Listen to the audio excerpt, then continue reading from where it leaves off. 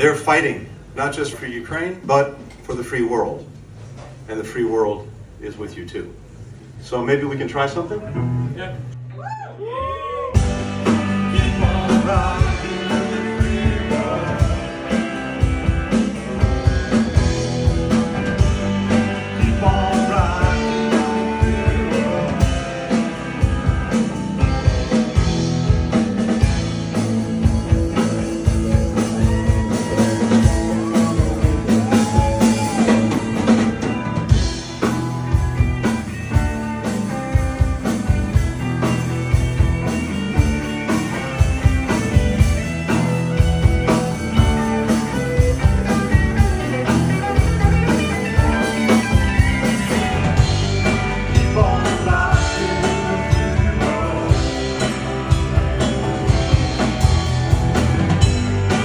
fall